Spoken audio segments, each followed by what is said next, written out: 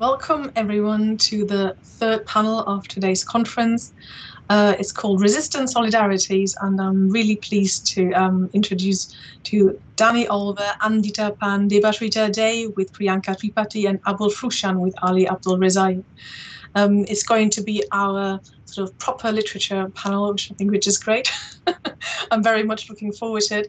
And as in the previous panels, all four papers will be presented, and then we'll have, you know, we'll open it up to questions. So if you have any questions, please put it in the chat or email us under psc uh, at uh, ntu.ac.uk, um, which is also, and the email address is also in the chat function.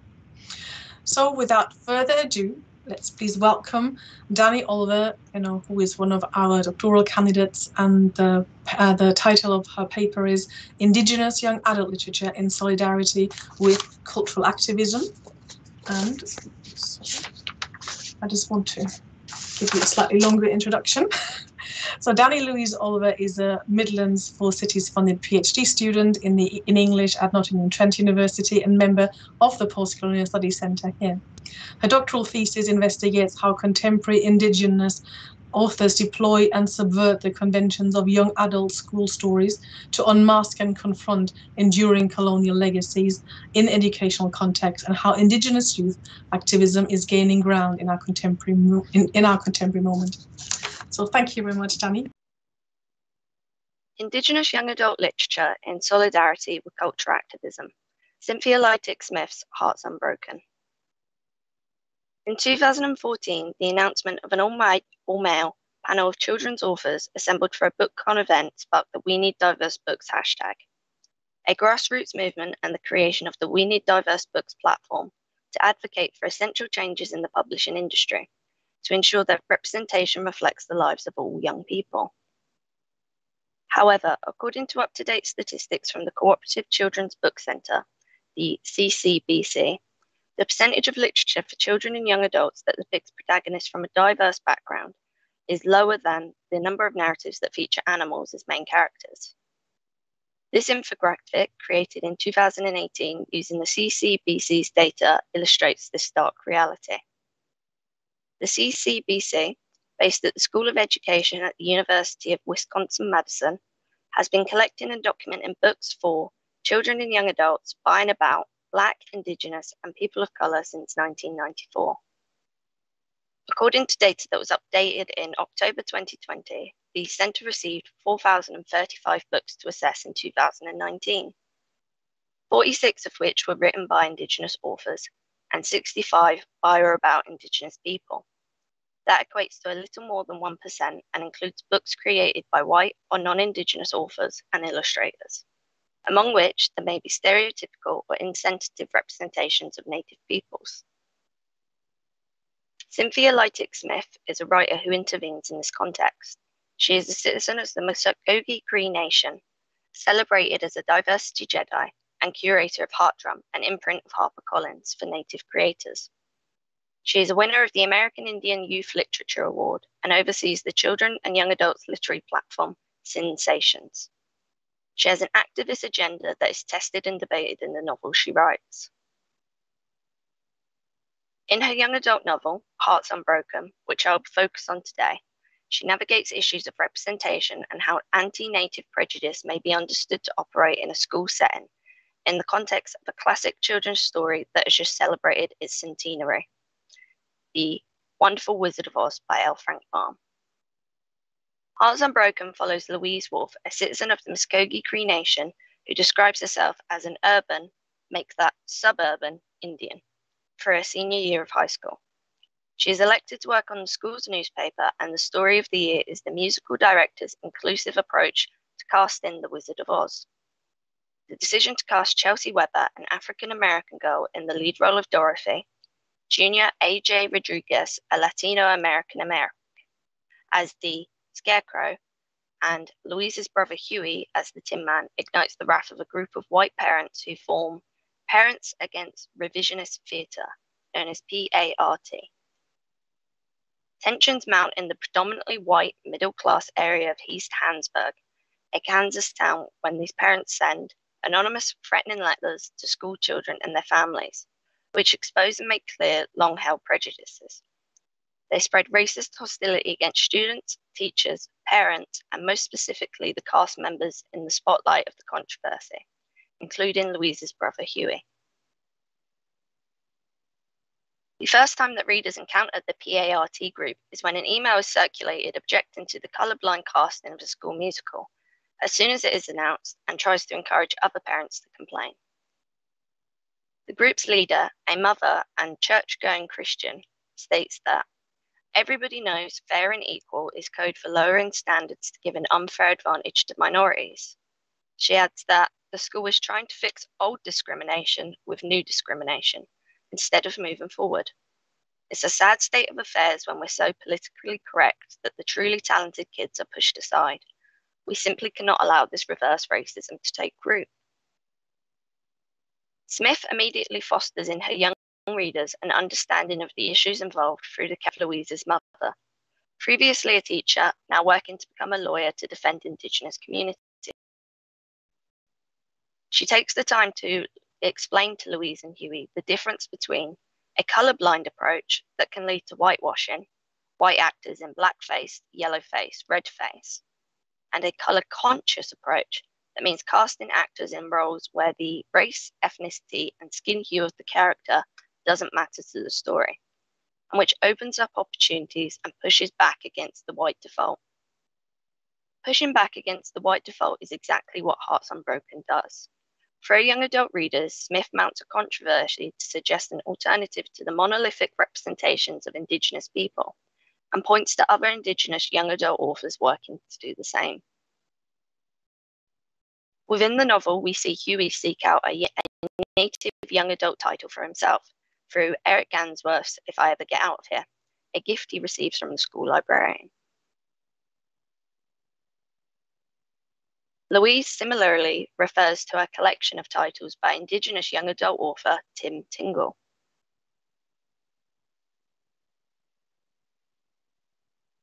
In Hearts Unbroken, Smith layers school experiences that can lead to Indigenous youth activism, including being subject to persuasive, insensitive representations of Native identities in US culture for how they intersect with teens on a day to day basis. Hearts Unbroken emphasizes the prevalence of Hollywood Indians for no apparent reason in school sports days, as well as professional sports via names of football teams like the Kansas Chiefs, and the behavior of their frenzied fans in red face. This is also shown through national holidays and cultural events like the Turkey Trot Race. I should be able to skip along, singing a song, trying to survive high school without fakey feather headed red faces swooping down like flying monkeys on national holidays and at ball games. Illustrating my point, the guy in the turkey costume jogged by, playfully chased by a guy in a pilgrim costume wielding a plastic butcher knife, who in turn was playfully chased by a guy in a Hollywood Indian costume wielding a plastic tomahawk. The novel also shows Louise's change in assertiveness and move towards activism. And it is the controversy surrounding The Wizard of Oz that drives Louise's journey towards personal growth.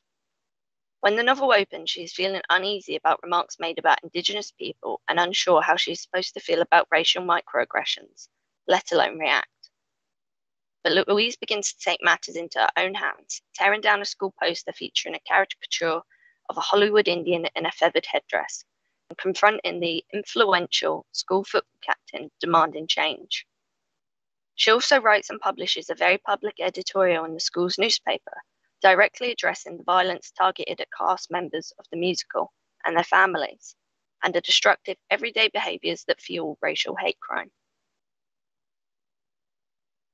A school musical is a staple of the high school experience, but in selecting The Wizard of Oz, the teacher has also selected L. Frank Baum's Wonderful Wizard of Oz.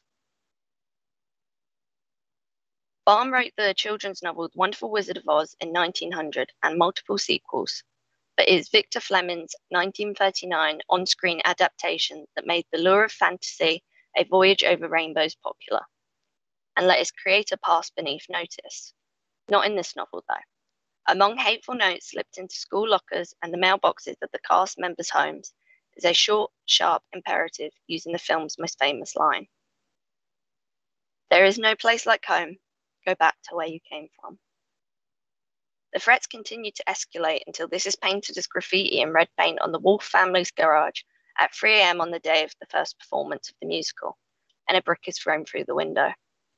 For Louise, who is reporting on the events for the student paper, it's not hard to read between these two lines. It is her brother Huey, cast as the Tin Man, who spells out the problem when tasked with writing the program that will accompany the musical. He writes L. Frank Baum is remembered as someone who created a magical world with very different characters coming together as friends. But he was like the wizard. His public image doesn't match the reality of who he was. Baum was a terrible man who hated American Indians and wanted us all killed. Louise asks for more clarification, and Huey produces the editorials that L. Frank wrote for a South Dakota newspaper, the Aberdeen Saturday Pioneer. December 20th, 1890. Sitting Bull is dead. With his fall, the mobility of the redskin is extinguished, and what few are left are a pack of whining curs who lick the hand that smites them. The whites, by law of conquest, by justice of civilization, are masters of the American continent, and the best safety of the frontier settlers will be secured by the total annihilation of the few remaining Indians. Why not annihilation? Their glory has fled, their spirit broken, their manhood effaced. Better that they die than live the miserable wretches that they are. January 3rd, 1891. Following the massacre at Wounded Knee, wherein US soldiers brutally murdered upward of 300 Lakota people, men, women, and children. Our only safety depends upon the total extermination of the Indians. Having wronged them for centuries, we had better, in order to protect our civilization, follow it up by one more wrong and wipe these untamed and untamable creatures from the face of the earth. The school musicals director, Mrs. Q, informs Huey that the piece he has written is off tone and off focus because Mom Baum was simply a man of his time and nobody cares anymore. But Huey cares, as does Smith. Louise finds that L. Frank Baum's words keep cycling through her mind because this is Kansas and odes to Oz are everywhere. Through them, Baum lives on. Louise is as distressed as her brother is, but her closest friend, a white girl, is dismissive. She states, You're upset about something that somebody wrote about something that happened over a hundred years ago in South Dakota. That's not even your Indian tribe, is it? Smith explores how easy it is for white members of the school, staff, and students to elide what Indigenous students feel, as Smith unpacks how Baum impacts upon Huey and Louise now.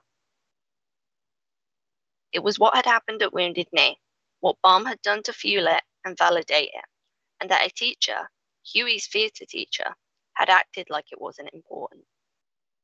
Again, Smith uses the character of Louise's mother to foster understanding and break down reflections on Baum the musical, and Mrs. Q's reaction to Huey's essay. Baum was a monster, but if you break it down, the musical isn't the Oz books, and neither of those of the man himself. Defenders of Baum who don't simply overlook or dismiss the man point to his progressive views on women's rights, support of the suffragette movement, and use of strong female characters in his fiction. But Louise's mother also explains what Smith achieves in this novel I feel like there's too much wrong in the world to fix, but I'm determined to fight. I feel like shining a spotlight on what certain people try so hard not to see. Hearts Unbroken shines a spotlight on Baum's editorial and calls his legacy into question. There is no single line of didacticism in this novel, though. Smith doesn't push all characters or readers to the same conclusion about these revelations. Huey decides to forfeit his role in the musical because Baum created the Tin Man and that ruined the role for him. But Louise openly admits that she is unsure whether she would have made the same decision and risks seeming not to express solidarity with her Black and Hispanic cast members. Other white characters, notably Mrs. Q, demonstrate room for growth. When Huey quits the musical, Mrs. Q declares it a teachable moment and leads an open discussion about the relationship between artists and their art and their audiences. She admits to the students that at first it had been easy for her to mentally separate Baum's editorials from the Oz musical, and that she hadn't wanted to think that hard about it. She decides to extend and publish his piece in the finalized program to afford his readers space to think about supposedly classic American writers. It may be argued that through a teacher character, Smith engages with initiatives around young adult fiction, like Shake Up Your Shelves, which argues that teachers should retire offensive, outdated titles and replace them with contemporary own voice narratives that reflect the experiences of underrepresented groups. Shake Up Your Shelves encourages teachers and librarians to remix their curriculum. They state, with diverse books, teachers and librarians have an opportunity to help young people understand themselves and others. We encourage you to look critically at the books you're sharing with your students and patrons. Debates over racist depictions of minority ethnic groups have been ongoing, but have resurfaced in the wake of what critics have dubbed cancel culture. Prominent examples include the withdrawal of six Dr. Seuss books from publication due to their racially insensitive images, and the removal of Laura Ingalls Wilder's name from a Lifetime Achievement Award by the American Library Association because of her derogatory portrayal of Native Americans. Epitomized in the lines of in the Little House on the Prairie, published in 1935. Kansas has no people, only Indians. And the only good Indian is a dead one. Smith finds another way in Hearts Unbroken. She does not cancel Baum or retire the wonderful Wizard of Oz. Instead, she creates a novel through which young readers can consider the person that he was outside of his fiction through the views that he held. Young readers and educators have a space to openly discuss and debate Baum, the editorials, and their impact within the school context that she depicts, specifically through a young Indigenous protagonist. In the way that Smith suggests, all stories are in conversation with one another. In an interview that she gave for a study called Rich in Color Reading and Reviewing Diverse Young Adult Books in 2018, she made her position clear. Story is A, how all of us make sense of who we are, and B, how we connect or disconnect with each other. It's also how we go to war. Story may not be everything, but it fuels and shapes everything. In April of this year, she distilled her thoughts into a key question that is clear and concise Who do we want to hold up to children and teens as a voice that matters? It is in this way that Indigenous young adult literature works in solidarity with cultural activism, holding up the voices that matter and creating a space to openly discuss and debate key issues. Thank you.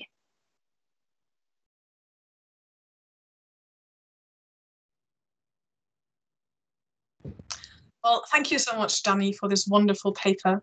And it's, uh, yes, it, it was so interesting. And i love the fact that every single panel picked up you know this strand of indigeneity. So i think that's really interesting. And maybe we can kind of draw you know come back to that later on in the discussion or in the social event later on. But now i'd like to welcome anandita pan. And she'll be talking about uh, caste gender and partition the reimagined self il kalyani Thakur Charal Amikino Jaral Liki um, as, as far as I know, this is the first paper on Kalyani Thakur Charal's autobiography, and I think that's really wonderful. Um, and I'm, I'm sort of secretly hoping that the, the, translation of, of this autobiography is coming out soon because I'd love to hear it. But so your work on it is sort of the second best.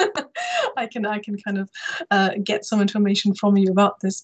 So Anandita Pan is an assistant professor in the Department of Humanities and Social Sciences in IISER Bhopal.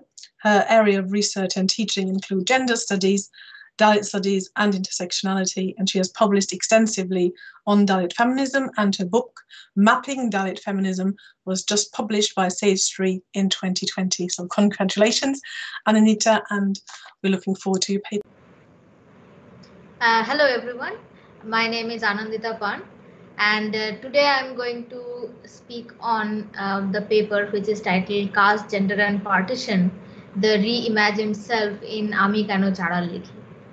Now, my paper is on Bengali Dalit literature, and uh, Dalit literature in Bengal actually emerged in the hands of Dalit refugees who migrated to West Bengal, which is the part of Bengal that is included in India from Bangladesh after the partition. So uh, this literature actually holds special significance because uh, you know its unique experience as a Dalit refugee. So Bengali Dalit literature challenges the belief that the Bengali educated left aligned community is actually unmarked by caste. It shows how succinctly actually caste has survived within the so-called educated uh, environment in Bengal. Now, even as we speak uh, the, about the existence of caste system in Bengal, it is also important to mention that the experience of casteism is not similar uh, between people. So the way Dalit men experience caste system is quite different from Dalit women. And it is important to talk about those specificities of caste and gender based oppressions, especially standing right now when the concerns over Dalit women, Dalit feminist movements are raging across India. So the complexities of caste, class, religion, community, and along with environment are very important right now. So that is why it's Bengali Dalit literature is emerging as one of the uh, very powerful arenas in which the Dalit movement is currently flourishing. So Bengali Dalit women's writings can provide a different and new layer of understanding through this kind of what I call an intersectional perspective where we look at caste and gender in an intersectional manner and we can also derive from these writings a kind of counter narrative to the dominant mainstream feminist or even Dalit notions that we have regarding caste system. And how that happens, I will be discussing through uh, Kalyani Thakur Charal's autobiography, Ami Keno Charal Likhi. So Ami Keno Charal Likhi, it was published in 2016 and it literally means why I write Charal. So the autobiography is rooted in the construction of her identity as a Dalit woman refugee. So the author Kalyani Thakur Charal mentions that after their arrival in West Bengal, the part in India, they faced tremendous caste discrimination and thanks to which they changed their surname to Thakur. So initially they were just named as Kalyani Charal, but later on they added Kalyani Thakur and they removed the Charal. And they were forced to take this decision because of the social pressure and the expectation to erase the caste-based stigma. But interestingly, a change in surname did not ensure a change in their identity. The author says how she experienced caste discrimination in school and even after she got a job. So later on, as she grew up and grew more conscious about her own identity and how the uh, conscious decision of choosing Chadal can challenge the caste-based stigma, she decided to add Chadal to her surname. So Chadal, it's uh, let me just explain what does it mean. So Chadal is a colloquial form of Chandal, Chandal in Bengali, and the term refers to a person who cremates dead bodies for a living. So this work is specifically given uh, to the untouchable lower caste communities because cremation is always considered a polluted work so we have many other examples like sewage cleaning so all uh, you know uh, cremation of bodies so all these things have been historically assigned to the dalit people because they are cons uh, considered untouchables. So associated with untouchability this term therefore signifies caste based stigma. And uh, Kalyani Thakur Charal actually mentions an incident on her first day at an office. So she overhears people uh, who are whispering among themselves, which caste? So to this, she loudly replied, Charal. And her sudden bold proclamation actually shocked everyone because they were not used to a Dalit openly identifying his or her caste. And she considers this proclamation of her Dalit identity as agential this sensitivity actually comes from her disillusionment that a change in surname would erase, uh, you know, the caste identity. She realizes that even though she gets education, she gets a job, but the institutions that regulate and promote casteism actually flourish and promote it even further. So Kalyani Thakur actually experiences a life that is thrice displaced as a Dalit, as a woman, and as a refugee. She mentions in her autobiography how Dalit women refugees bore the brunt of this displacement. It was common among poor Dalit refugees to sell their girl children in exchange of money. And uh, she mentions that her cousin was actually sold off in Delhi uh, in promise of giving work. And uh, at that time, Kalyani didn't know that she was sold. And next day, when the cousin sent a postcard begging the uncle to bring her back, but the uncle actually tore the postcard and angrily retorted that there is no news from the cousin. So uh, now a little bit of background to how the experience of Dalit refugees was different from the non-Dalit refugees uh, in India. It's very important to mention that a little bit in passing so as to properly understand how Dalit women's issues were even more specific to the caste gender based oppression. So caste segregation among the refugees was very prominent. So when the refugees arrived from Bangladesh to West Bengal, they were given uh, or they were sent off often uh, in certain refugee camps. Now the upper caste, upper class, uh, the so-called Bhadralok refugees actually occupied the well-built, well-built colonies in Calcutta because of their connection with the government officials. And also they were wealthy and they belonged to the upper caste. But Dalit refugees were often sent to the Andaman Islands and the Dandakaranya. And the segregation of Dalits uh, in distant rehabilitation camps actually indicated the perpetuation of caste uh, system. So in the camps that they were uh, the, the Dalits were sent, they had different toilets which were termed for untouchables. So they could not use all the toilets or all the uh, kitchen facilities. Now, although the Namashudra leaders like uh, Dalit Namashudra leaders like P.R. Thakur, Jogendranath Mandal, they registered such government rehabilitation center uh, rehabilitation programs and they also used the religious and political influence to settle down in Calcutta.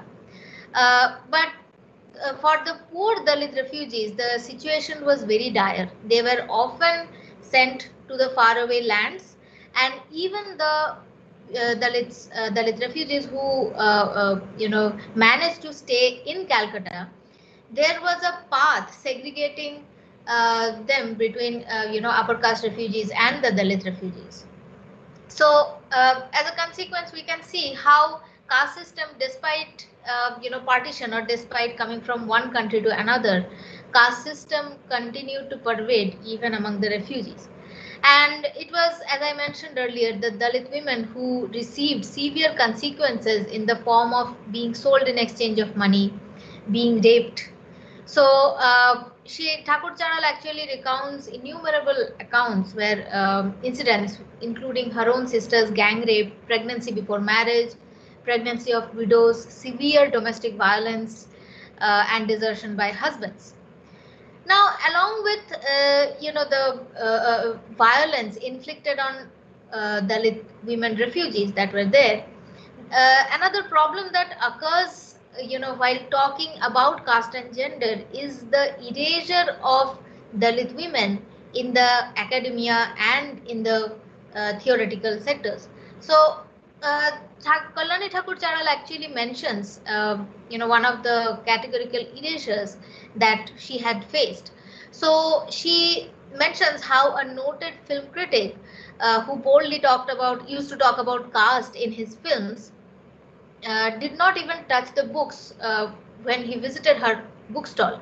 Instead, he told her that, uh, you know, she shouldn't, she's trying to erase caste system. She shouldn't do things like that she should forget about caste and go ahead with her life.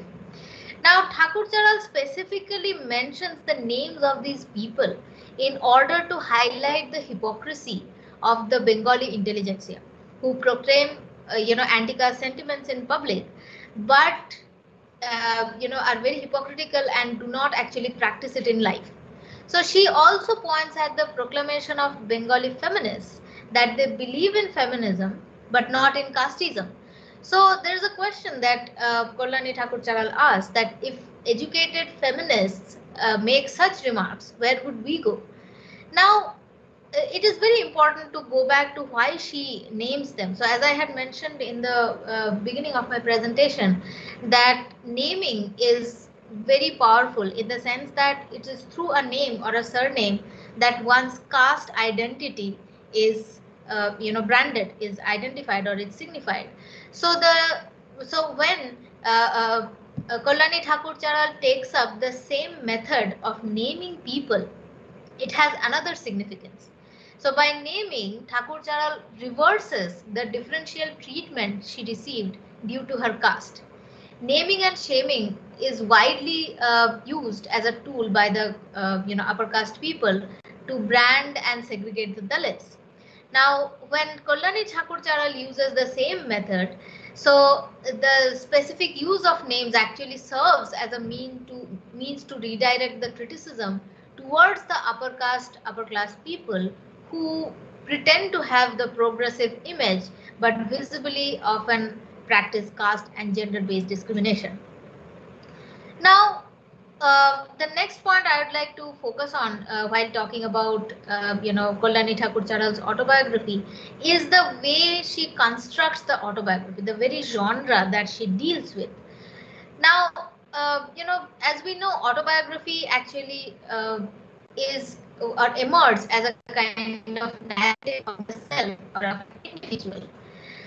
The kind of autobiography that uh, Kalyani Thakur Charal writes is something that is based on a collective identity. And this is where the importance of an alternative autobiography emerges. This autobiography actually defies the notion of an individualist self, which became so popular with um, the autobiographies written by men. Now, Thakur Charal's autobiography is strewn with the lives of other Dalit women, especially her sister, her grandmother, and her mother. And uh, you know, it was a pain which made this bond actually stronger. So Thakur Charal mentions that throughout her life, uh, she has lived as a caregiver for her sister, who was who often suffered from mental illness. But her death left uh, a tremendous emptiness within the author. So what we really see is, um, you know, the bond is not limited, in fact, in this autobiography only to interpersonal relationships. Uh, in the introduction to the autobiography, she also mentions that this book is a conscious intervention in the dominant Brahmanism and patriarchy. And she promotes a particular intersectional perspective to destabilize the dominant ideologies. So this uh, conscious uh, self believes in solidarity. And the I in or the self in Ami Keno Charal Likhi goes beyond the limited scope of personal is political. And it also explores how self-representational practices are influenced by history, politics and subjectivity. Now the ending of the book is perhaps uh, the most reassuring and uh, rewarding uh, Thakur Charal ends by documenting a workshop uh, organized in Pondicherry in 2012 by the Sparrow Women Archive, uh, which brought together 12 Dalit women writers from six states across India. So this workshop consisted not only of Dalit women writers sharing their writings, uh, it also showcased drama, autobiographical accounts, narratives by Dalit women activists, and so on. So this workshop highlighted Dalit women, women's organizational power and the need to build solidarity across regions, cultures, and modes of articulation. So the identity that Kalyani Thakur Charal creates as a Dalit woman is an affinity-based, uh, solidarity-based collective identity. So uh, her autobiography shows how envisioning Dalit woman as an intersectional category uh, you know, challenges the single axis formulation of woman and Dalit. So the caste gender intersectional angle actually revises the dominant notion of patriarchy understood only through gender. And it shows that when it comes to casteism uh, affecting women, not all women are affected equally by caste system. Uh, there are specificities to, uh, which affect some women more than the others. So upper caste women are not equally affected as Dalit women by caste system. Similarly, when we talk about sexism, it's not that you know Dalit men and Dalit women are equally affected by it. Dalit women's oppression is very much specific to this intersectional lens that is unfortunately often ignored or erased in mainstream feminism or in Dalit politics. So this autobiography therefore highlights the need to understand the interconnection between caste and gender. And it also emphasizes uh, on the need to recognize the difference among women and dalits as two categories. So um, dalit uh, you know thakur charal's autobiography forces us to see that uh, violence inflicted on dalit women refugees is not merely a result of their sex it is a structural issue where Dalit women's bodies are made into sites to exercise control over the entire community. So in focalizing um, on citizenship, gender is completely ignored in uh, case of Dalit politics. So that is why writings by Dalit women refugees are even more necessary because they highlight the perpetual silencing of gender in Dalit politics, and they also introduce a new intersectional angle in the caste gender theorization through the idea of citizenship. Thank you. Well, thank you so much, Anandita, for this in a wonderful intersectional analysis of Kalyani Thakur Charal's um, autobiography.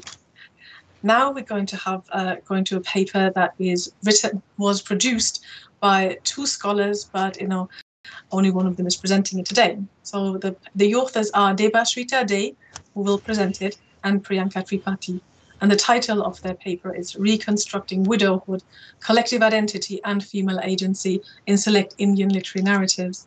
And Debashrita, who is, who is presenting, is an Institute Fellow and Teaching Assistant of English at the Department of Humanities and Social Sciences in the Indian, in, sorry, the Indian Institute of Technology in Patna. She's currently working on literary gerontology for a doctoral thesis, and her areas of research interest comprise feminist studies, disability studies, and medical humanities.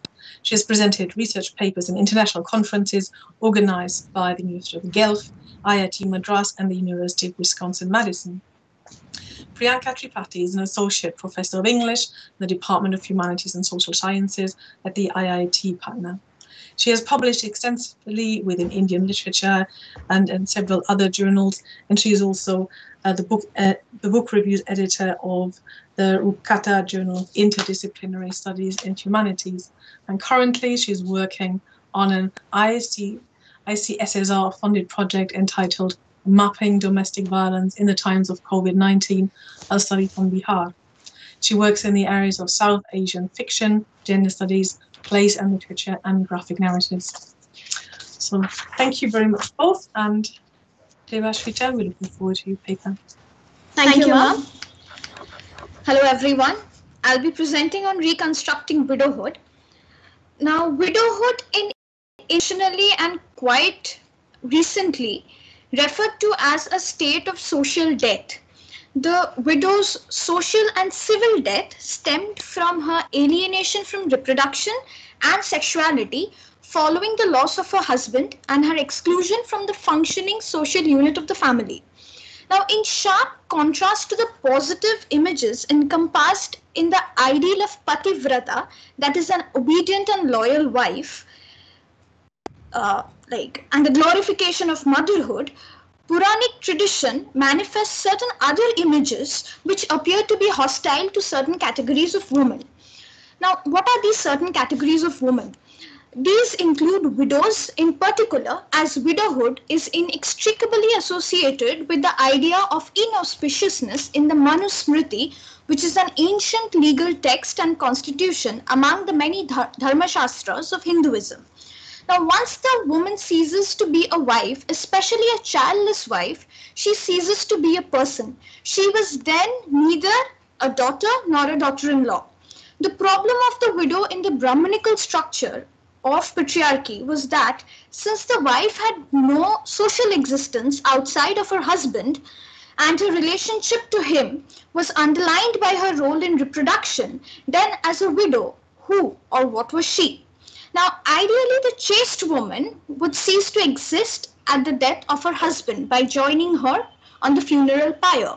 But if she did not become a sati, she came to be institutionally marginalized. While she was physically alive, she was socially dead. Now, without an identity separate from marriage, the women themselves merged within the background to be identified only in accepted roles such as a wife and mother. Thus, a perceptible form of invisibility is conferred by the society on the Hindu widow, whose conditional visibility as a wife is lost with the death of her husband.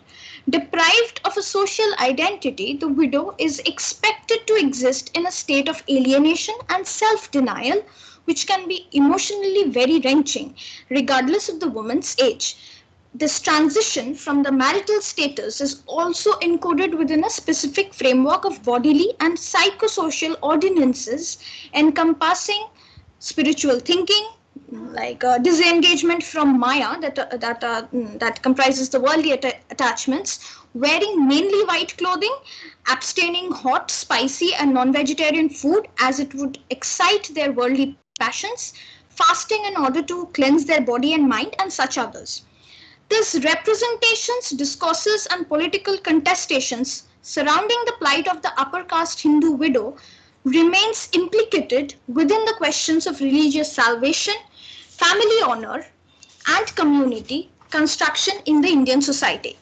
Now, Bapsi Sidhwa's Water and Indira Goswami's The Blue Naked God seeks to explore how the widows remain trapped within the questions of religious salvation, family honor, and community construction in the Indian society.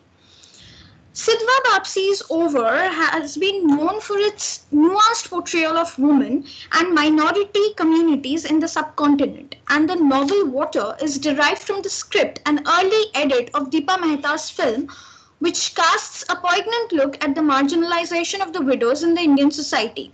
While Mehta was shooting the film in Banaras, there was a huge outcry as the movie dealt with the sensitive issue related to the plight of the widows who were nearly leading an ostracized life.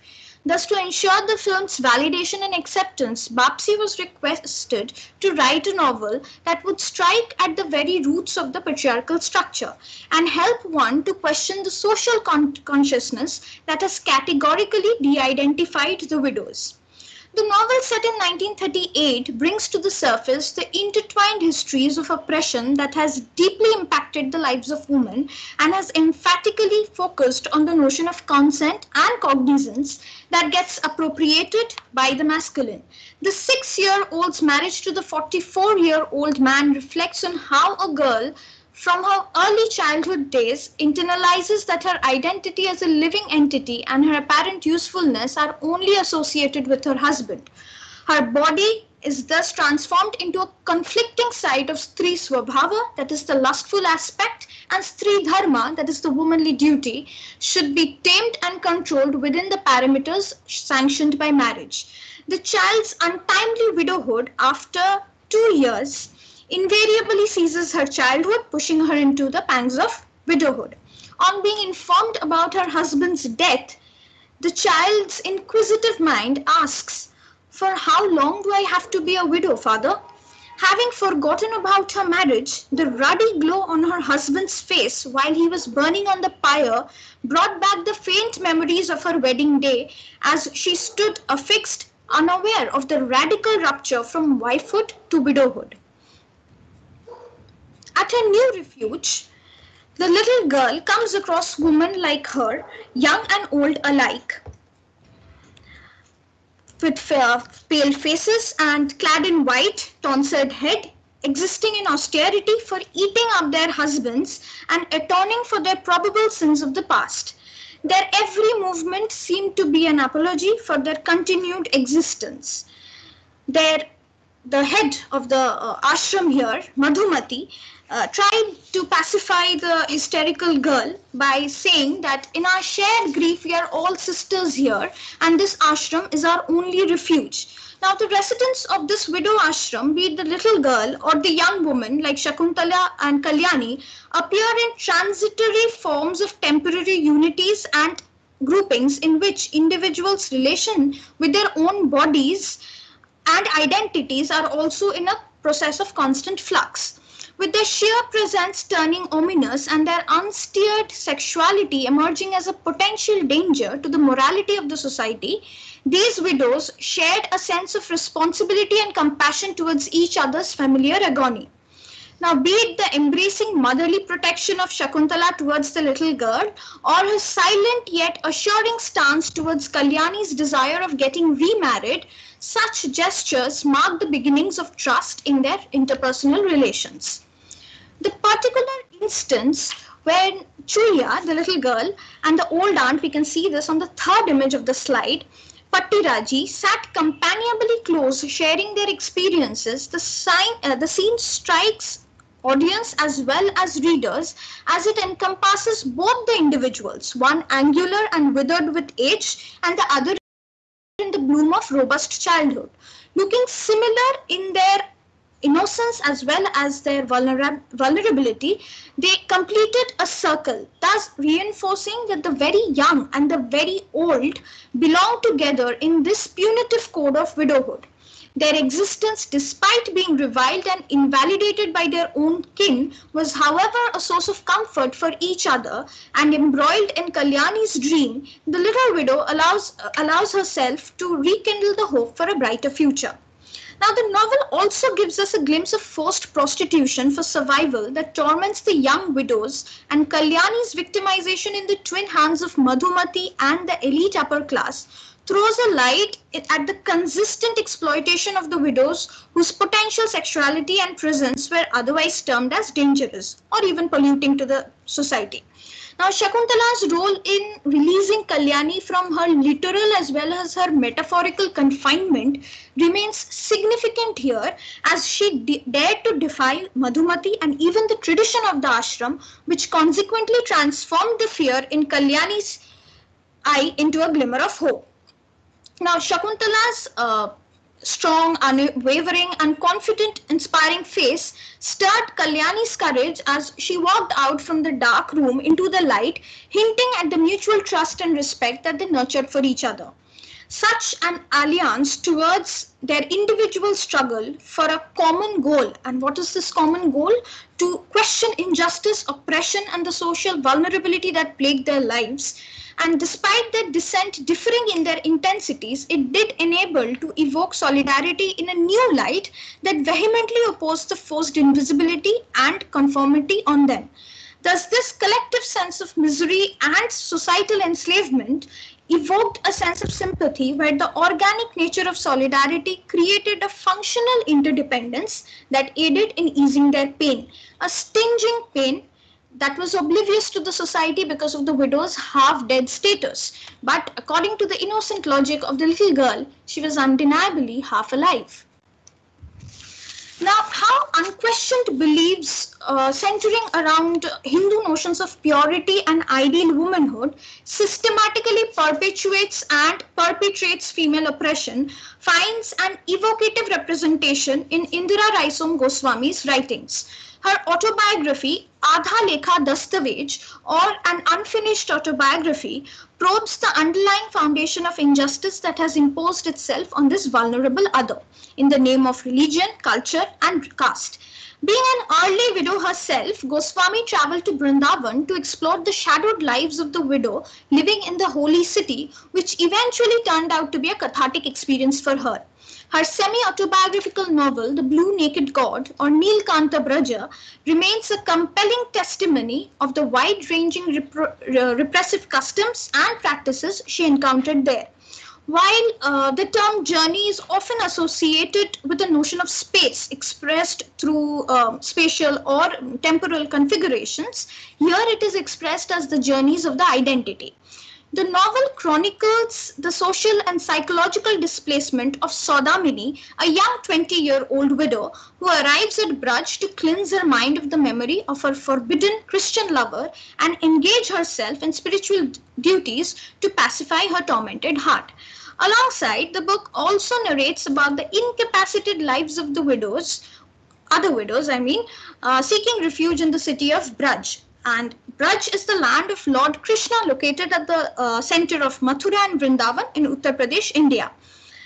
The widows of this region are known as Radhe Shamis because they sing devotional songs praising Krishna, Radhe, and earn a pittance to fend for themselves. Now, a parallel picture that arises in both the novels, besides the pitiable condition of the widows, is we see that the meager amount that these widows earn is kept aside for their cremation rather than to, you know, uh, feed their hungry stomachs. Fearing that they would be deprived of the last rites on their deathbed, uh, these widows frantically hold on to their little savings even at the cost of their consuming hunger.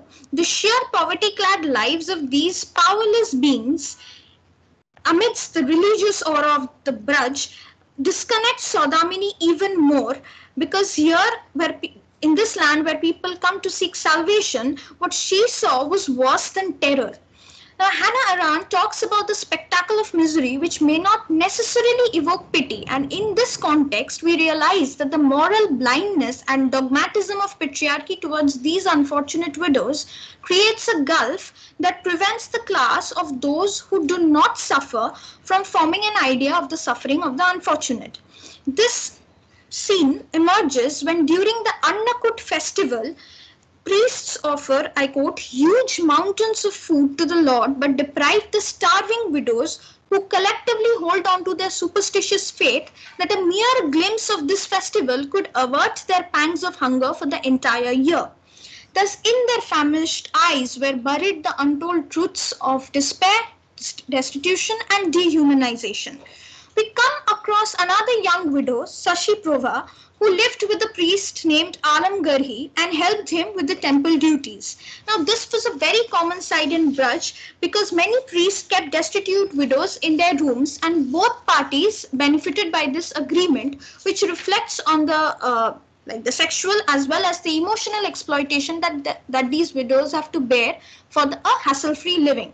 However, Alamgari's company was considered harmless for Sashi Fruvayar because he was a eunuch and she claims to Mrinalini, who is another character in the novel, a 40-year-old unmarried woman, that Alamgari has not harmed or spoiled me in any way. Now, Mrinalini's state of extreme helplessness with her old fragile parents makes her feel like a beast of burden.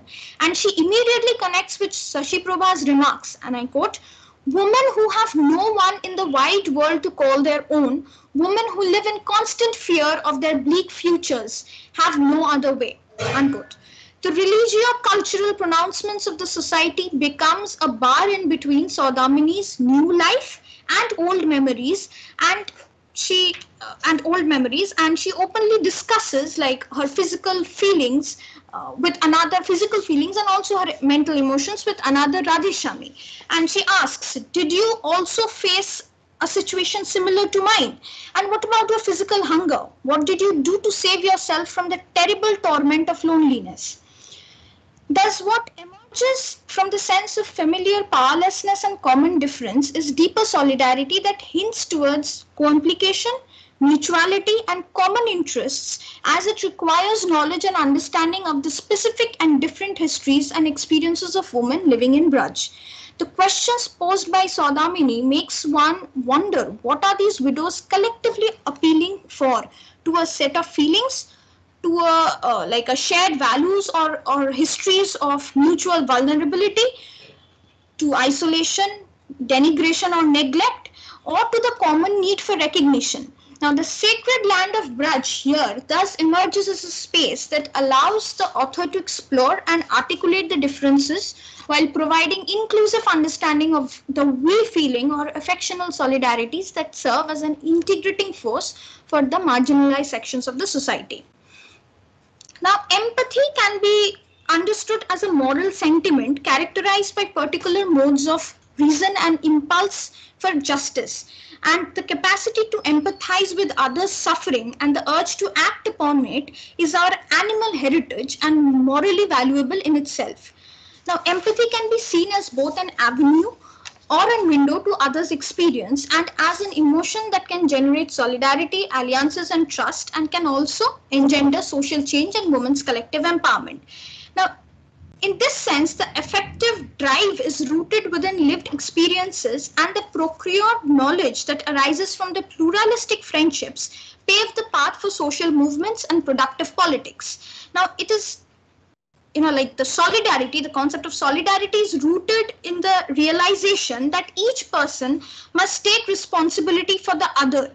Because as consociates all must have an uh, interest in the integrity of their shared life and we are interested in the same way, not simply because of our mutual interdependence, though it is definitely important, but also because each of us wants to be acknowledged as an individual with unique perspectives and contributions which give shape to the collectivities of which we are a part. Thus, the reflective notion of solidarity, which emerges in Bapsi and Goswami's individual works, makes one aware of the evident reality behind the abandonment of the widows, and I quote, one less mouth to feed, four saris, one bed to let. Somewhere a corner saved for another widow. There is no other good reason. Disguised as religion is just about money. Thus, the inclusive understanding of we, whereby the strength of the bond connecting the widows strength, stems from their mutual recognition of each other, enables Shakuntala to strive for an alternative, secure reality for the little eight year old and reflects on the great determination born of necessity that enabled the Radheshamis to strengthen the ties connecting all of them to let others know that they are neither forgotten nor alone.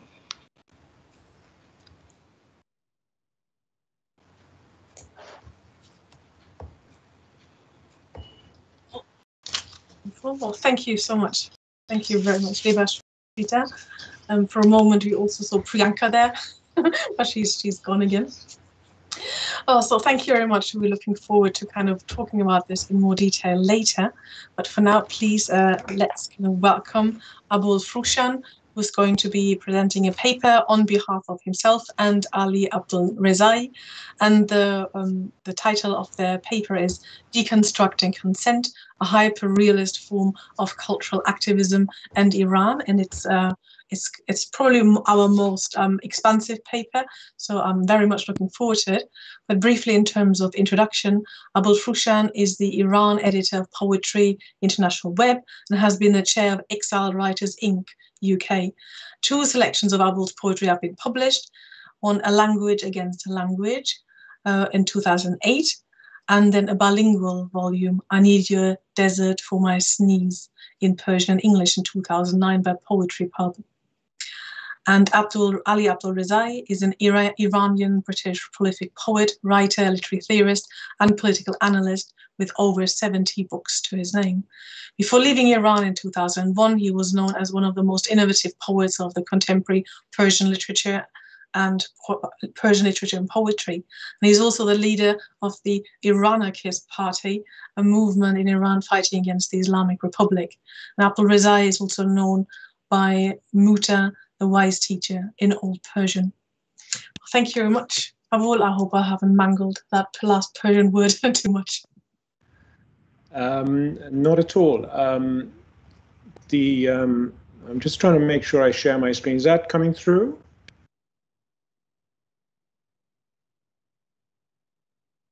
Excellent. Okay. Well, thank you very much for this opportunity to uh, present to you a um, a fast-moving progression of a movement that um, uh, combines militancy and solidarity in the context of Iran. It um, its roots uh, goes back to 2016 when it started as a grassroots literary movement in poetry and fiction.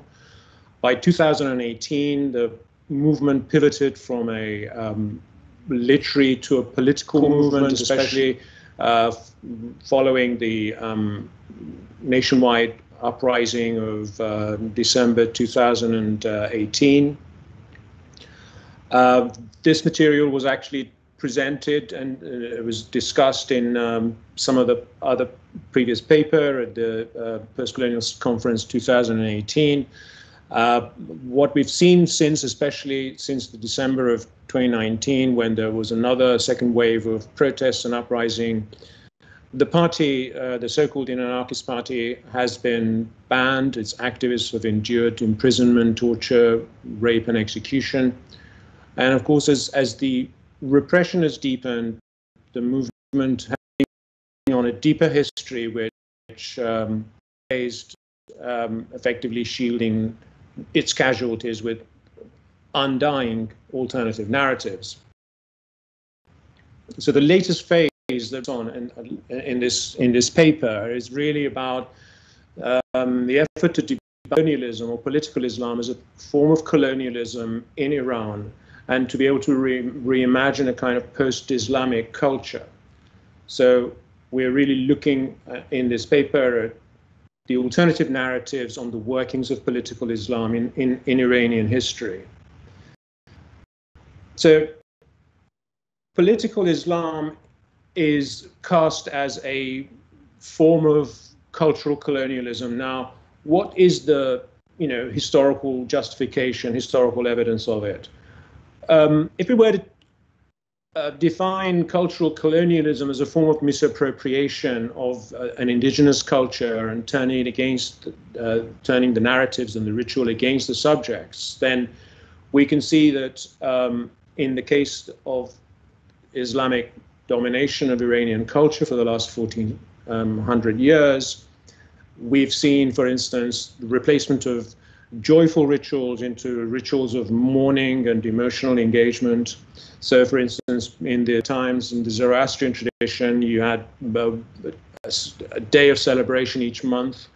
What we have under um, since the Islamic, especially the Shiite version, we have the 12 imams, 12 imams that have uh, have to be mourned in the they've all been martyred and they will all act of mourning, which basically puts in place a, a culture of sorrow uh, dominated by fear and emotional engagements that perpetuates the, the way in which the current system works.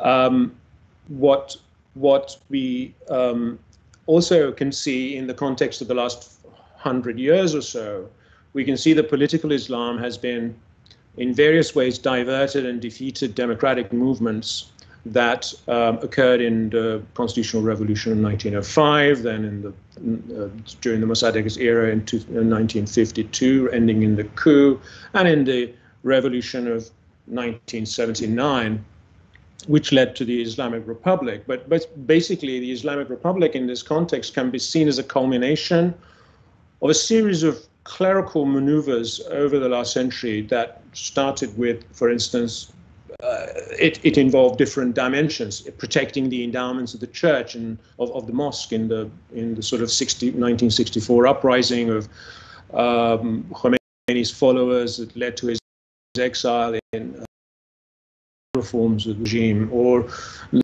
the monarchy as a proxy to clerical rule when the uh, Reza Khan, who uniting Iran was told that he should be, this nation is always a king, so he became the Reza Shah inaugurating the Pahlavi dynasty, which then um, you know, delivered, developed uh, the country through modernization uh, that in various ways was um, countered by the um, by the Shiite Islam, uh, by the clerics, um, all the way from the constitutional revolution of 1905 to the Pahlavis and so forth ultimately to be able to sort of hand over some form of absolute power to a, to a supreme leadership, which was basically started with Ayatollah Khomeini and his successor now. The dynamic of this is basically tending back towards a kind of um, the tension between the republic and the Islamic nature of it is is one of the interesting areas of discussion, especially given that today we have a, an important presidential elections going on in the country. So there is there is justification to saying that there is a form of cultural colonialism going on here. Now, how does this movement deal with this? Well, there are effectively uh, this is back uh, looking back at the at the the history of this movement in the last two three years, and we can see um, that Iranarchist approach is really to take a, a kind of post-colonial perspective to be able to reimagine a post-Islamic regime in Iran, and and it starts with it started with debunking the, the, some of the Islamic narratives, some of the custom and practices by uh, using um, linguistic techniques that we discussed in the previous paper uh, in 2018, um, and from free verse to free Iran, as it was called. And, and also they, they've been using, uh, having its origins in literature and poetry, it has actually been deploying new forms of protest and street action through the use of language and linguistic tropes that, uh, including, you know, not only just graffiti, but the types of slogans that have been introduced since the uh, 2018 and 19 in the in the protest movements. Um, and this was discussed something that something I discussed in a in a article in Poetry International um, called Poetry versus the Body Politic. So the, the, the argument that um, the, the um, Iran-anarchists put forward is the fact that Islam is creating a kind of hyper reality. So what do we mean, by hyperreality? We mean is basically like Baudrillard explains it. He, it's an inability of consciousness to be able to distinguish reality from a simulation of reality, especially in the context of technology um, and and say the social media.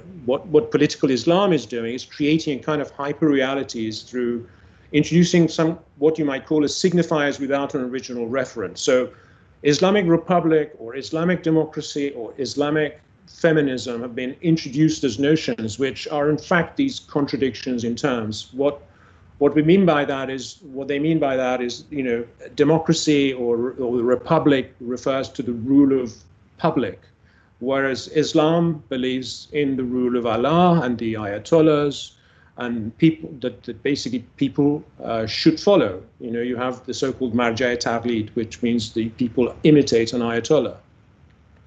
Again, with Islamic feminism, feminism is about gender equality, and Islam's views on women um, status is well known. Um, there is, you know, they can only inherit half the half a half half a man, or, uh, or they can um, um, need two witnesses to to to to equal a man, etc. So, but but apart from these points of debunking on, on on topics like what do we, you know, what do you what do you mean by Islamic feminism? What is this hyperreality you're creating? The, the deeper question is how can we fully kind of reappropriate one's culture, if taking a post-colonial approach? How can we redefine cultural imaginary of a post-colonial nation, if you like? The approach here that uh, the, the, the movement has, has, has adopted is a form of an, an approach to decolonizing the culture through building on the resilience that has been going on for millennia. Now, we know that cultural colonialism can endure much longer than economic colonialism. But Iran Iranians have had a proven to have a resilient identity that the movement is trying to is basically building on. So, you know, despite the fact that Iran was defeated by the at the hands of the Arabs and the Mughals, it never was a, a colony of a direct colony of any other nation. But but the resilience um, has has been carried through the, the Persian language, the rituals, the rich literature, um, historic contributions. Um, uh, so you know, Ferdowsi, for instance, is uh, thousand years ago re- revived Persian language by and avoid and prevented it from dissolution and and conveyed it through the Shahnameh, which is an epic of kings, and that epic carries a lot of the myth uh, forward. And um, you know, if you compare Egypt um, to Persia, an equally uh, ancient civilization, they lost their language and they were fully Arabized. But this didn't happen in the case of Iran. So what what we're talking about is basically um, the, the this this new the latest movement the, the latest uh, development in the in the forms of resistance is is or, or um, offensive if you like is the alternative narratives that deconstruct the Islamic ones and um, and look at parallels between the Persian history and myths and, and, and the Abrahamic ones, for instance, and, and this way create a new imaginary. So, for instance, if you think about Shahnameh, talks about the story of Siavash, um, which, which actually um, very much preceded, uh, as a myth, it preceded the Abrahamic myth, but Siavash was very much a figure that was effectively repeated in the story of Abraham. So, here are some of the sort of narratives from um, from Muta um, um, through the un, untranslated books that have been published in the last two, three years. And I would just sort of summarize them uh, in order to show the kind of the kind of work this involves. So in the first narrative or old, old narrative, I'd like to call it, is, is, is basically the fact that Zoroastrianism, which uh, ancient Persian religion, influenced Judaism and Shiite Islam. And, and the story goes back to Cyrus the Great, who liberated the Jews from Babylon, and they were banned from um, worship for 80 years. And, and they were, you know, this, this incident is actually captured in, in, in the book of Esther. Um, Jews were able to go back to um, Jerusalem and, uh, and, and was sponsored to recreate the Torah, which was very much according to the story, heavily influenced by Zoroastrianism. Uh, Judaism is in turn very much a strong influence on Islam, if you, uh, especially through Shiism, uh, more of a Zoroastrian nature of, of this comes through. Um, the fact that Zoroastrianism was a dualistic culture, dualistic um, uh, religion. It introduced good and evil. There's the, the the, the principle of the God of light and there's the God of darkness, and this really appears, reappears in the form of the, the deity and the shaitan and the Satan and so forth. Um, so basically, you can see that Judaic culture is argued to be heavily influenced by Zoroastrian tradition.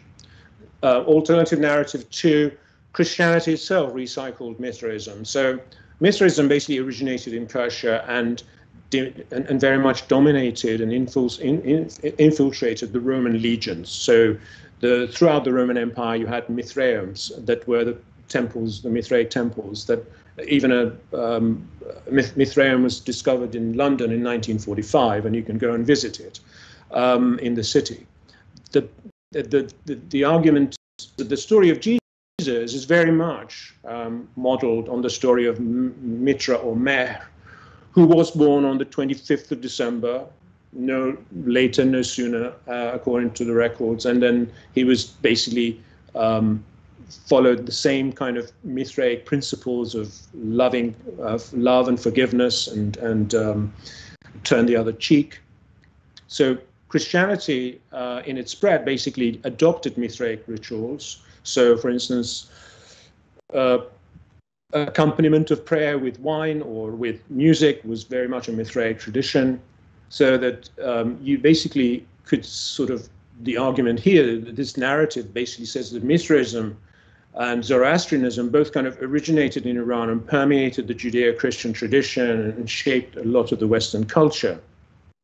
Whereas in the meantime, Iran was, you know, the, or the old Persian Empire was defeated by basically a an Islamic conquest that was very much a um, a Roman strategy. So this is narrative num old narrative number three. So you basically have a scenario with the, the Sassanids, the last uh, Persian Empire, versus the Roman Empire. They had an extended border from Armenia through to south, uh, northern Syria in the south.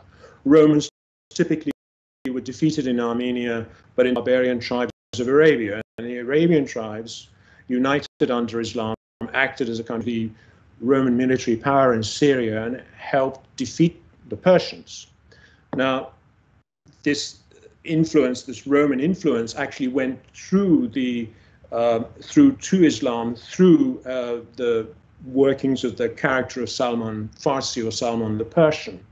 So again, the part of this narrative, this alternative narrative, is the fact that Salman Farsi was a Zoroastrian who turned uh, Christian, lived in Medina, and according to the Islamic narrative, became the first Persian who took to Islam and helped Muslim forces win victory over Persia.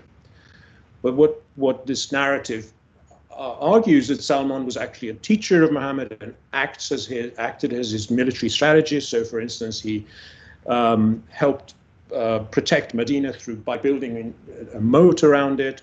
And even the word uh, Muslim, which in Arabic is Musalman, actually means like Salman. Alt narrative number four.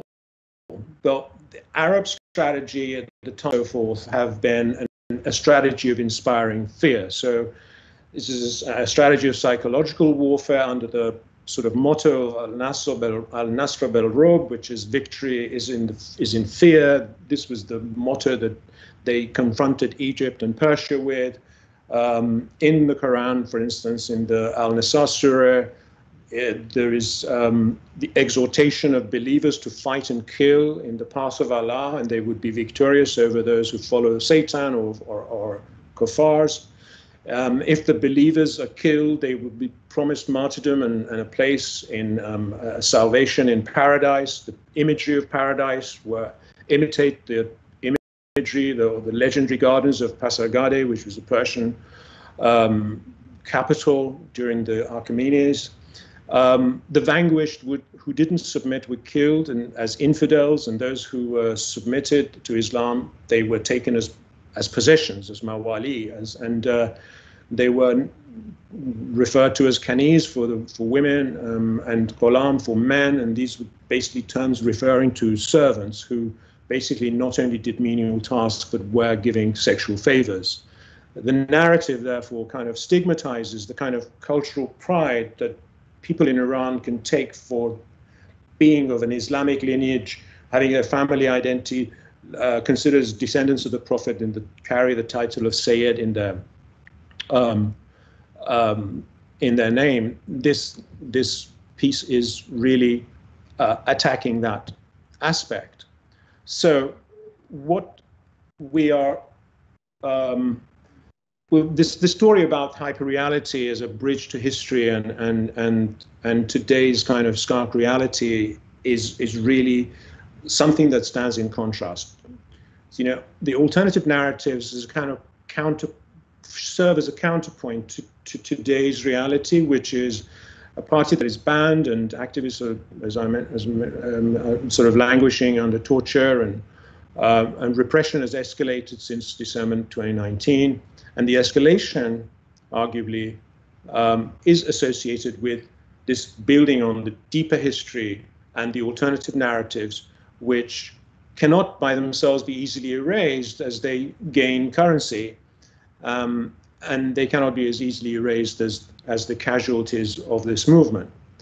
So this is itself an interesting question for post-colonial studies to, to you know the correspondence between the, the stakes of high stakes of, of repression versus high stakes of, of narrative.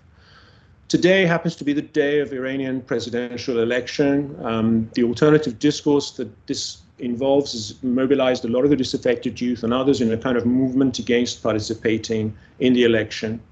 Um, you know, argue, they argue that the defeat of the Green Movement in 2009 proved that the voters don't decide the presidency, but basically the vote counters do, and that the judiciary effectively selects compliant candidates and eliminates others. And, and this, this sort of drama is, is, is un, unfolding today. So really, our paper is a sort of a form of dialogue between academic analysis and a kind of what you might call as a literary movement with its own imaginary world that sort of morphed into a new expression of narratives that inform today's reality and experience. So I have to say. well, thank you. Thank you, Abol. That was just a, a proper tour de France. well done for managing it, to do it in, in that amount of time. Thank you so much. That was really fascinating. So we have around 10 minutes uh, for questions because we need to kind of, you know, stick to the time as much as, as possible. So just to give Abol a break for, for a moment, we'll uh, start with the questions that we have in the chat. And just let me read those to you. So um, a lot of them are just praise, you know, which is always you know, very nice. And Valentina, one of the presenters earlier, um, said, um, Thank you, Dani, for a brilliant presentation. In it, you discuss at length the brilliant content of the novel and the ways in which it questions a canonical author and his work, inviting critical thinking. It was wonderful if you could talk a little about the form of the novel. Would you say that this novel is resistant in its form? And if so, how? And if we could just connect that to Stephanie Palmer's uh, question. Thanks, Dani. Can you say something more about the significance of being an urban or rather a suburban native? And does this identity, this identity of the author, have any bearing on the novel? So could you ask those questions, answer those questions together? Um, thank you both for the questions. That's really lovely. And thank you everybody else for the talks. I've really enjoyed them. Um, starting with Valentina's question. I think the young adult genre is resistant through its dynamic relationships with characters, institutions, and social power. So the young adult protagonist, through their narrative, learns to negotiate social power and its levels as they exist in social institutions such as school, government, church. This relationship, the relationship between the protagonist and the institution, which is established in the young adult genre, shapes them to interrogate and problematize social constructions of authority, power, and repression. So I think it's quite resistant in its potential in that relationship. And Stephanie's question As a suburban protagonist, um, Louise frequently finds that her native identity is dismissed or is seen as not authentically native, partly through her light complexion and partly through this suburban identity, because she doesn't reside on a reservation as people would expect her to. Um, some of the events are influenced by Smith's life directly, such there is a relationship in the novel that's influenced by that. But I also think Louise's identity is informed by her own work, working to tell diverse stories, and she works with many activist groups in that sense to help with representation. So I think she wanted to give a voice to a young Indigenous contemporary female without it being the typical narrative. Mm. I, I, think that answered them. Oh, thank you very much. Excellent. Lovely. Thank you so much, Dani. Thank you. And then we have, oh, Tom, Tom uh, Lockwood Moran says, great paper so far, excellent and insightful scholarship and sort of um, spelled out clapping. Thank you. and Pragya Sharma, an earlier presenter, um, says, so insight as it is. This is more a comment about Anita's paper, but I have a feeling there is a question in there too. At the moment, Anandita, we can't actually see you, but I don't know. I hope you know you can you can hear us and that you can answer the question. The Pragya's comment was so insightful, Anandita, and great points highlighted how the oppression faced is never the same for different genders and even within the same gender and I'm wondering whether there is, oh, hi, there you are, lovely. I wonder whether there is a bit more of a question on intersectionality, because this is also your field of, study. Can you say a bit more about this intersectional approach? Because on, on the surface, it always looks quite straightforward, but in practice, it's not always easy to pull it off, isn't it? I think you've you've already um, shown that quite you know very well in your um, in your paper. But do you want to say a bit more about that? Yeah, so basically, uh, thank you, uh, uh, and thank you, Nicole. So, uh, you know, as we have seen, the very uh, crux of Dalit feminist, uh, you know, epistemology is the idea of intersectionality, and it's rooted in the concept of difference. Uh, you know, one of the ways in which we can understand this difference is, uh, you know, how patriarchy uh, when we redefine patriarchy as a caste-based patriarchy and which is termed as Brahminical patriarchy, how uh, the Brahminical patriarchy creates separate rules for different women of different castes. So upper caste women have one set of rules where they are supposed to stay within the house, uh, veil, wear veils and all. Uh, whereas uh, when it comes to uh, Dalit women, uh, the same patriarchy prescribes different rules in terms of sexual accessibility uh, because they go out uh, for work. so they are you know considered sexually accessible so the reason we really need intersectionality is because we really need to recognize that the situation for these different kinds of women is not the same so patriarchy really needs to be revisited and revised as Brahminical patriarchy and take into consideration the multiple axes of oppression along with gender. Yes, well, excellent. Well, thank you. Thank you very much, Anita. And just let me go through the questions that we have in the chat. So there's one, another one from Valentina. Hi, Debashrita. You closed your presentation with a note on empathy and solidarity. Do you think that there might be an issue with a solid with a solidarity defined through empathy? Excellent. Yes. Uh, now the thing is that uh, you know, like these works highlight what I feel is the importance of recognizing the value of others and feeling for others as a way of transforming ourselves.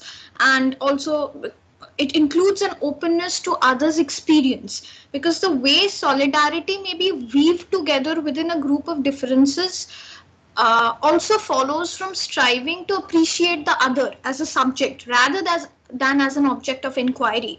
So it is about bearing witness, also listening, and uh, of course, not rushing to resolve problems before understanding them.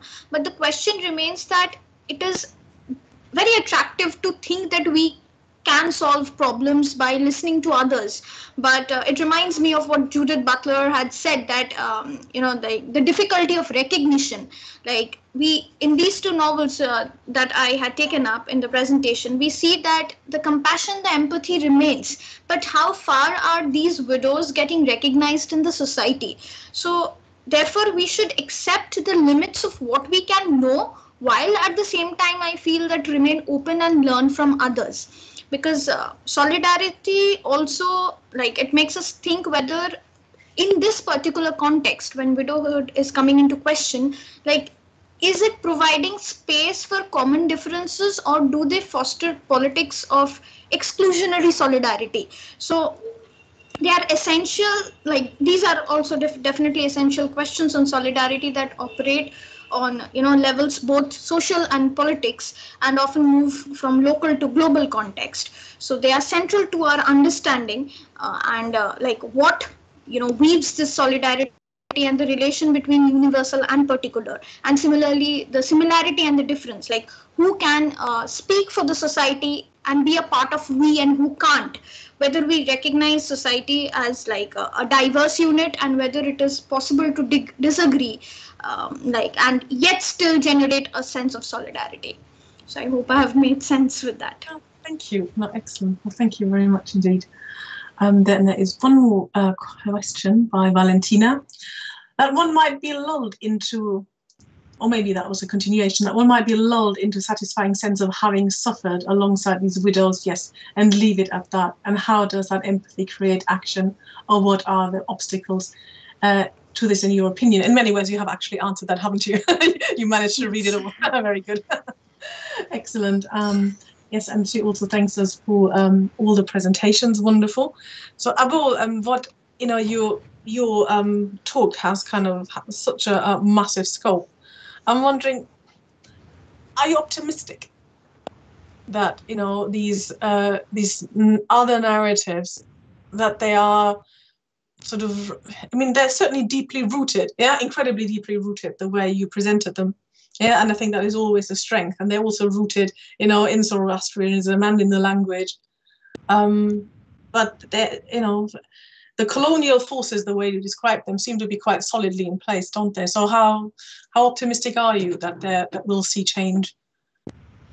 Um, I, I think that um, you know it, the um,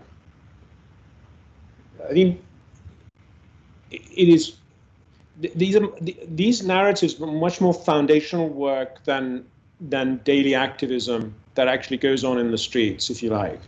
That that that the, that the um, like the waves of protests that have actually swept across the country uh, spontaneously, variously, um, they they can be quelled and stopped. And of course, machinery of censorship is there for um, publication of some of these books and material to be prevented from access, but it's it's actually the kind of thing that um, goes beyond the the day to day kinds of struggles, right? So from that point of view, it can serve as a foundation, and it variously speaks to people who are not necessarily um, engaged in the movement um, on a in an active basis, right? So it, it can it can actually create that new consensus. So the, the the kind of argument they're basically putting forward is the fact that you know if you if you do not work with the consciousness and the culture, then you will any change will revert back to the the, the old patterns um, of hierarchical rule that would effectively defeat the purpose of a of a movement, if you like. So it's going towards a much more fundamental work. Now, the extent to which that will will bring time time will tell. It's difficult to tell. Um, politics has got a very um, um, deceptive facade sometimes. Oh, yeah, absolutely right. Well, thank you, thank you so much, Abol, for that for that comment, and then of course, and for that summary. And in some ways, that it really touches on everything that we have discussed today, yeah, in all the different papers. Yeah, and well, thank you so much. Um, we're bringing this to a close. So thank you to the public for watching. And uh, as panelists, you know, I'm looking forward to seeing you in about half an hour for an informal, you know, chat, unfortunately without a buffet, uh, unless you provide it yourself. And um, please don't forget that uh, tonight at seven o'clock, we have another really exciting event um, with the Dalit rapper Sumeet Samos, and I hope you don't miss that. And I'm looking forward to seeing you again tomorrow for a few more events. So, well, thank you very much, all of you. Yes, uh, a clap, sort of representative of everyone who's. thank you all. All papers today were fantastic, and thank you. What a wonderful panel as well. Take care. See you soon. Bye-bye. bye bye